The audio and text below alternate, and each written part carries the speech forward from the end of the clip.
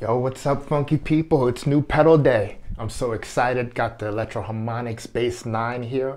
I picked this up mainly for one setting. It's setting 7, the split bass. So if you're a solo artist or you play, accompany yourself playing funk, blues, jazz, whatever, uh, and uh, you want to split the, your guitar in half, you ever thought about splitting your guitar in half? You played bass notes and, and your lead lines. This pedal this setting is magic for you. Let's get into it.